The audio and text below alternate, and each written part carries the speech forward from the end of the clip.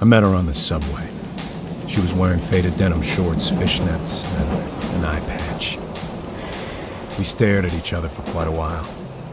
And then she said something strange to me. She said I smelled like violence. I asked what violence smelled like. She said, melon bubblegum.